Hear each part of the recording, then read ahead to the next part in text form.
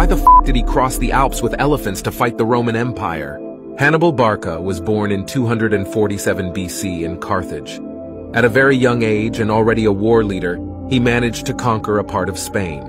He quickly rose to the rank of general and decided to attack Rome. At the age of 29, he crossed the Alps and marched towards Rome with 40,000 men and 52 war elephants trained for combat and equipped with armor and war towers.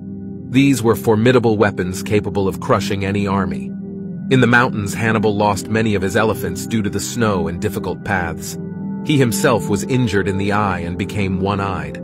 However, he successfully crossed the Alps, and with his elephants he invaded several Roman provinces and won numerous battles crushing and massacring the Roman army. The bravest elephant Surus proved to be particularly fearsome in combat. Despite being wounded with a broken tusk, he killed many enemies. However, Hannibal was unable to capture Rome. Upon returning to Carthage, he was attacked by the Romans. In a terrible naval battle, Hannibal had clay jars filled with venomous snakes thrown onto enemy ships. But it resulted in defeat, and the Romans took Carthage. Hannibal refused to surrender and took his own life by ingesting poison he had kept in a ring. He died at the age of 64.